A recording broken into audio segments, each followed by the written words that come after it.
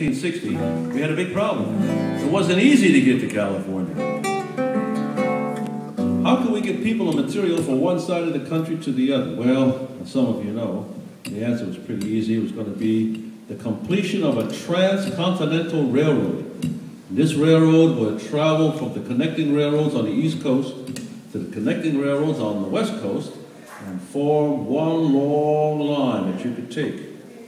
On the western portion, they brought in 12,000 Chinese men to work on the railroad. Now, most of you know, if you look at the picture, where the two engines are meeting at Promontory Point, there are no Chinese in the picture. What most people don't realize is that they weren't offered a discount or break on the price, so most of those men walked back from Promontory Point, Utah, back to California. But, nevertheless, the railroad was a major event in American history not just Chinese American history. It changed the time it took to get from New York City to Sacramento from 166 days to 11 days.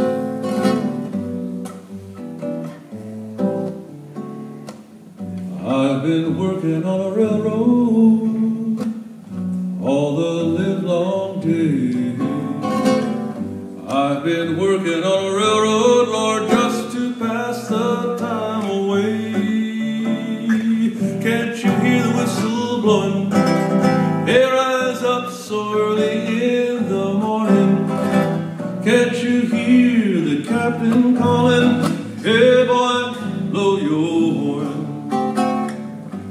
granddaddy worked on a railroad.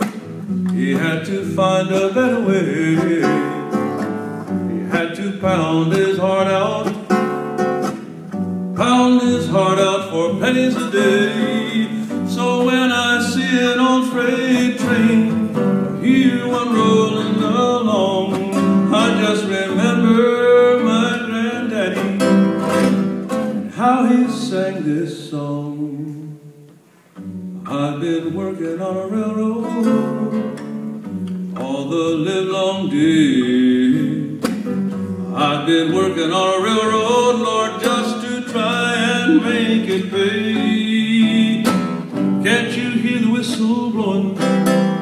They rise up so early in the morning. Can't you hear the captain calling? Hey boy, blow your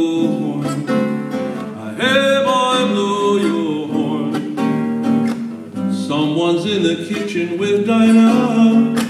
Someone's in the kitchen, I know.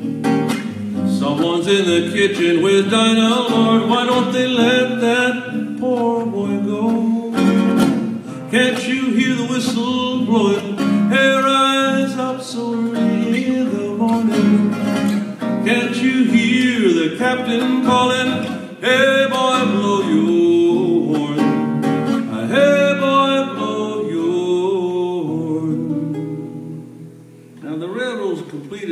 1869, as I said, at the aforementioned Promontory Point. And one of the remarkable things that happened was there was a uh, contest to see who could lay the most track in one day. And of course, everybody lent their back to it. By the time they finished it, it was a, people had been working on the railroad for a while. The Chinese laid uh, 10 miles of track in one day. Feat which has never been surpassed, probably because nobody wants to do it. part of the problem is that a length of railroad track, rail, weighs about uh, 500 pounds. It's about 10 feet long, 12 feet long, weighs 500 pounds. One person can't lift it by themselves. Well, unless, of course, you're a former governor. Um, but generally, it could be said that nobody can lift a 500 pound rail time after time. So here's a little song about that. Come all you railroad workers, conductors and engineers, I'll sing you all a story that's pleasant to the ears. All about those sturdy China boys, how they met the test. They crossed the snowy mountains and beat out all the rest. But it won't roll on down the line, roll on down the line.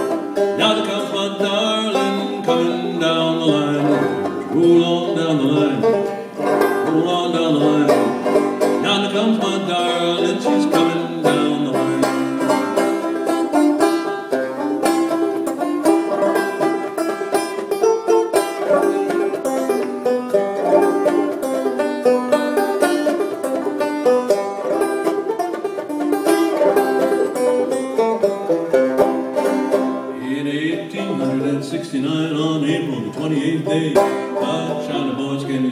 a little game to play. Central Pacific wanted the record, she'd cover all the bets. Oh, who thought that the Irish would be beat by Crocker's Pets? But it won't go on down the line, go on down the line.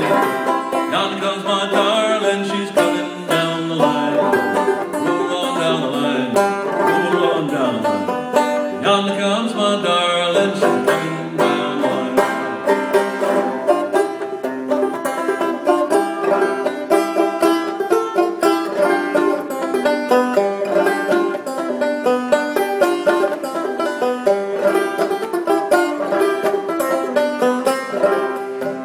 848 workers, all armed with a shovel and pick. Showed them how to do the job and they finished up real quick. The boss man, he's delighted when he hears the foreman say, These China boys have laid their track 10 miles in just one day. But it won't you roll on down the line? Roll on down the line. Yonder comes my darling, coming down the line. But it won't roll on down the line? Roll on down the line. Yonder comes my darling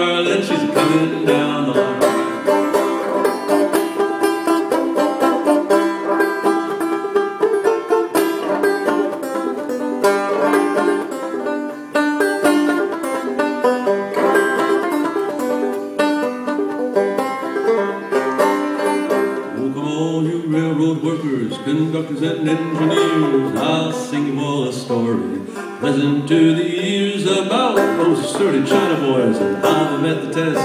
They crossed the snowy mountains and beat out all the rest. But it went on down the line, on down the line. Yonder comes my darling,